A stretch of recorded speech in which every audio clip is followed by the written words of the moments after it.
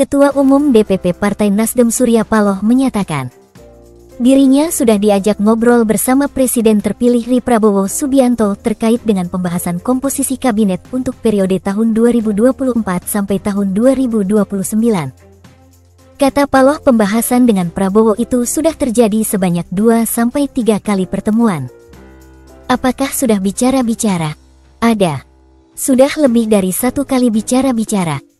Kalau memang komunikasi dengan saya selaku ketum Nasdem itu sudah lebih paling tidak mungkin dua atau tiga kali. Kata Paloh saat jumpa pers di Nasdem Tower.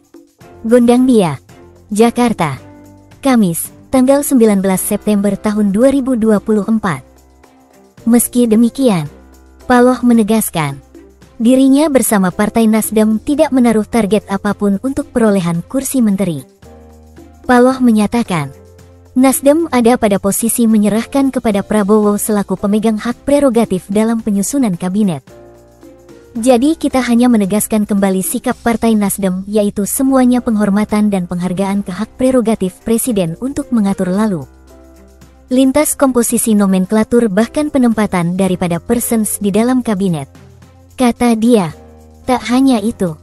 Paloh juga menegaskan, Nasdem akan tetap menghormati terkait apa yang nantinya ditetapkan oleh Prabowo terhadap penyusunan kabinet. Terpenting kata Paloh, Nasdem akan berada dalam barisan pendukung pemerintahan Prabowo Gibran untuk periode lima tahun mendatang. Dengan latar belakang apa pun itu. Dalam berbagai komposisi apa pun yang dirasakan itu tepat.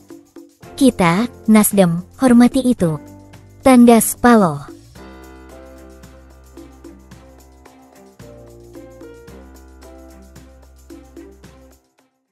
Download Tribun X sekarang.